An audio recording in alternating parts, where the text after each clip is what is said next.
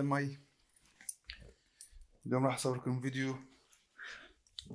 احكي بيه على الشوفان طبعا أنتم ما شايفين المي شلون يصير طيب بهاي هذا بهاي طبعا المي يصير بطعم فد شي.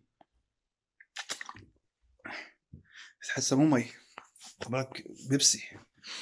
المهم البارحة نزلت سؤال على ال story اللي ما متابع على الانستغرام خليه يتابعني. سألت الشوفان يسمن لا يضعف.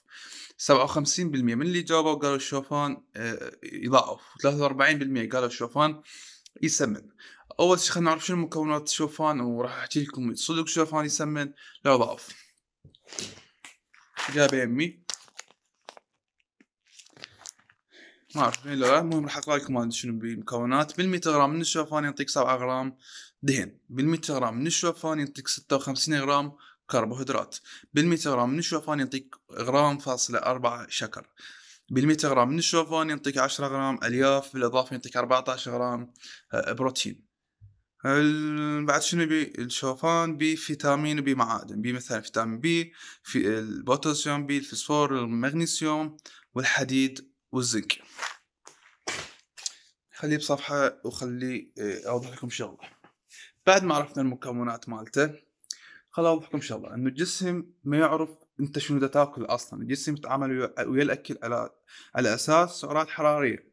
فالشوفان هم يسمن هم يضعف. على الكمية اللي آه، تدخلها أنت. هو مصدر كارب عالي. يعني إذا دخلت أكثر من احتياج جسمك آه، راح تسمن وإذا دخلت ضمن احتياج جسمك واحتياجك اليومي ما راح تسمن بالإضافة الأخرى هاي.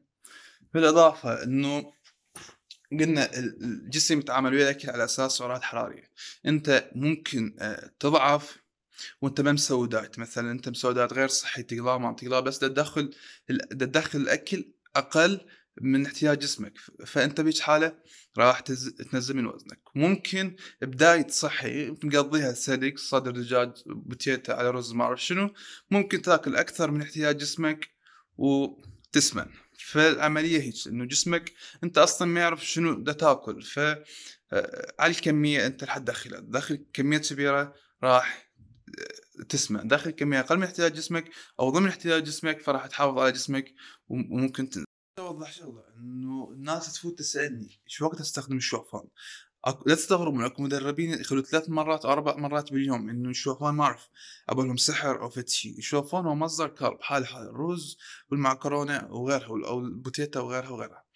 شو وقت راح تخليه بيومك؟ الصبح بالليل المغرب هذا الشيء راجع إلك. يعني أكو مدربين يخلوا الصبح أكو بالليل أكو المغرب قبل التمرين بعد التمرين هذا الشيء راجع لك بس الشوفان من مصادر ال carb المعقده اللي الجسم يمتصها بشكل بطيء ومن مصادر ال carb اللي ما ترفع الأنسولين بشكل عالي. يعني تبقى محافظ على مستوى الأنسولين آه، بشكل طبيعي.